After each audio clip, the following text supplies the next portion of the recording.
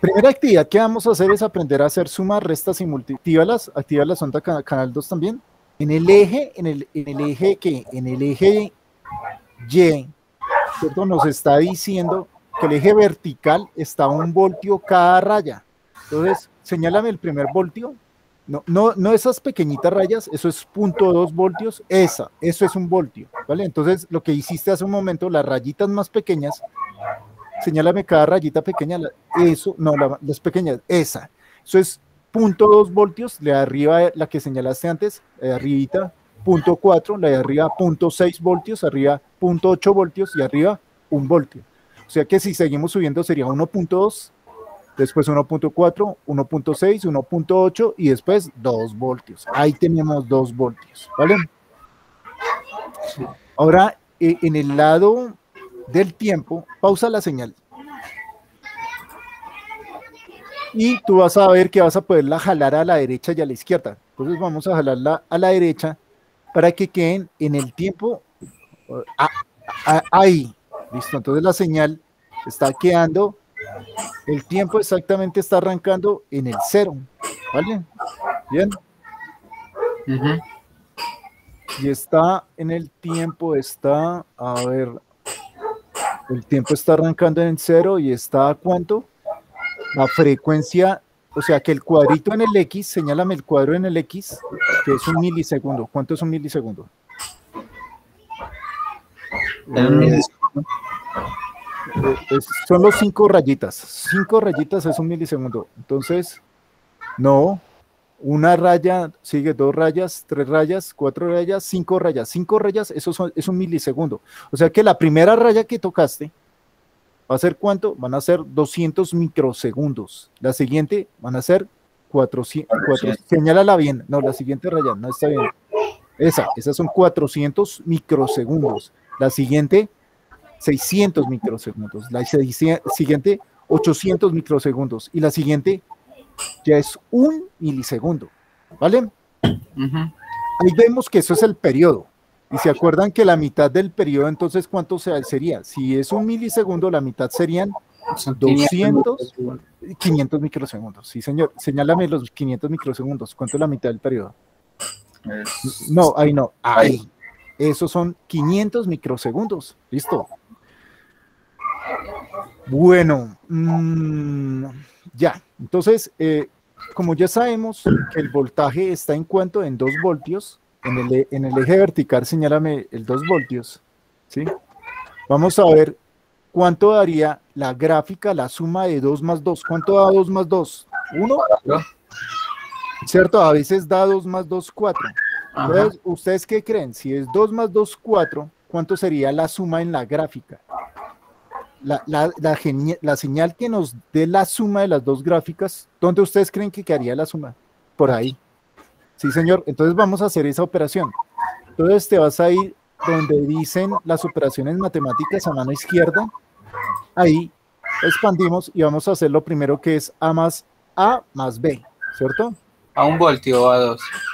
Y todo está configurado cuanto a un voltio. Mira que el canal 1 lo configuraste a un voltio y el canal 2 lo configuraste a un voltio. O sea que debe estar todo a un voltio. Y ya préndelo. Entonces prendamos las, prendámosla. ¿Listo? Cierro. sí, eh, sí, hay que despausar la señal. La señal está pausada.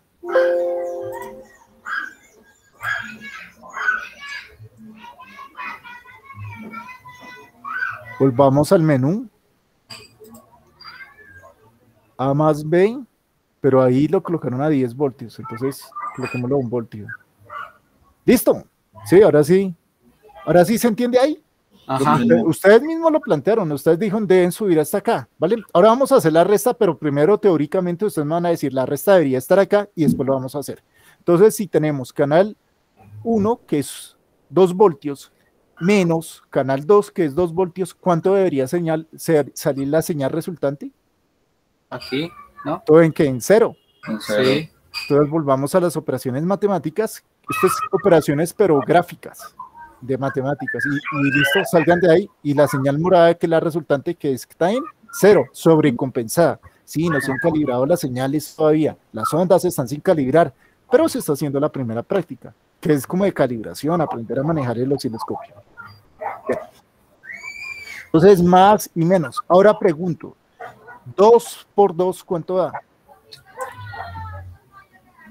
2 por 2 nos da Da 4. 4. O sea que, ¿dónde debería estar marcándose la señal de 2 por 2? Aquí. Ajá. Listo, hagámoslo entonces. Y vamos a hacer 2 por 2, Y listo, ahí se ve. 4. ¿Listo? La siguiente señal, entonces en gráficas, yo no me acuerdo cuál es, división. Ah, espérense, entonces vamos a hacerlo teóricamente primero. 2 dividido 2, ¿cuánto da? 1. Y entonces, ¿dónde debería quedar? Aquí. No, ese, ese ¿cuánto es? Ah, ese este es es dos. 2. Creo que 1. Uno. Ese es 1. Listo, entonces veamos a ver.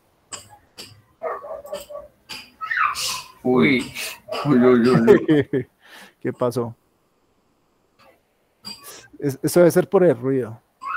Volvamos. Ah, no, sí. eh, Mira que la señal morada está marcando en 1, pero todo ahí lo que aparece es por el ruido.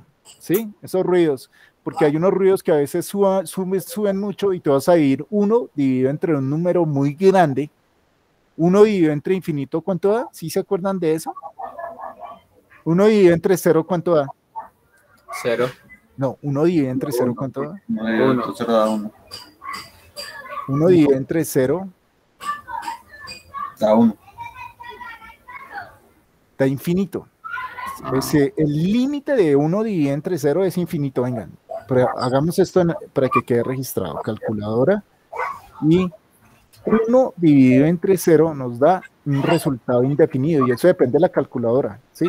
Porque se sube mucho ese número. Entonces, como la señal está sin calibrar y desde las ondas, entonces van a haber puntos en los que se sube mucho. Pero podemos ver que la morada eh, tócame nuevamente la señal que está en 1, ¿sí? Si estuvieran bien calibradas, se estaría evitando ese ruido que está saliendo, ¿bien? Pero esto es un, un laboratorio que ya están haciendo ustedes experimental a distancia, ¿sí?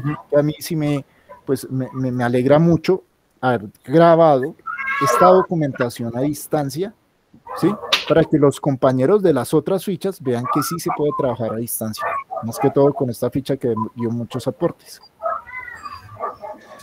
Bueno, entonces el, último que queda es cuando ustedes vayan a sus universidades.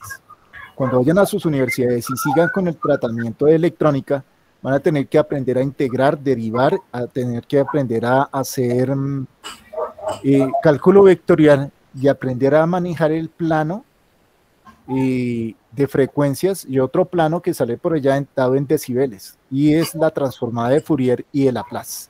Entonces, si vamos nuevamente a las gráficas, vamos a hacer la transformada de Fourier de una señal rectangular 1, transformada a Fourier con otra señal re- rectangular 1. Vuelve a las gráficas.